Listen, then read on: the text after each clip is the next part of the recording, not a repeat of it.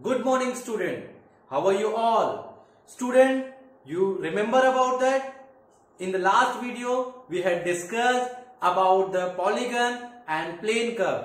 Do you know about the polygon? Yes, polygon is a closed curve with made up of only line segment. These two diagram are looking making made of only line segment and these two diagram are closed curve. Therefore, these two diagram are polygon. So today student, today we are going to discuss about the exterior angle of polygon. So the statement of exterior angle is the sum of the exterior angle of any polygon is 360. Remember that student, this statement. We'll take one example, first diagram.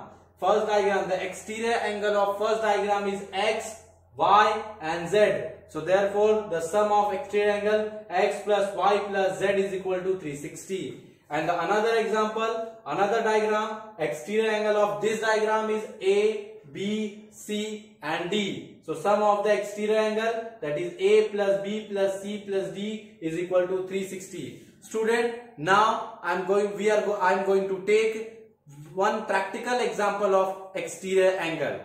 Student, let's take practical example of exterior angle. Here is a polygon. All the exterior angle have been given. So first angle is 90, second is x, third is 110 and fourth is 50. And we have to find the value of x.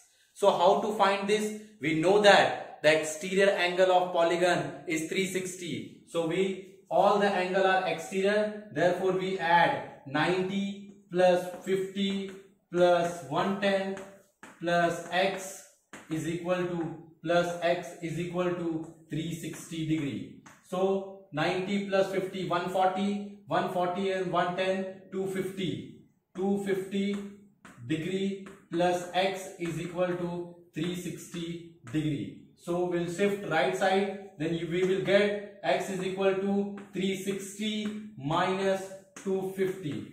So that is we get 110 110 degree. So value of x is 110 degree. Student take another example and try at your home and remember that the statement of exterior angle that is sum of exterior angle of polygon is 360 degree. So till then bye bye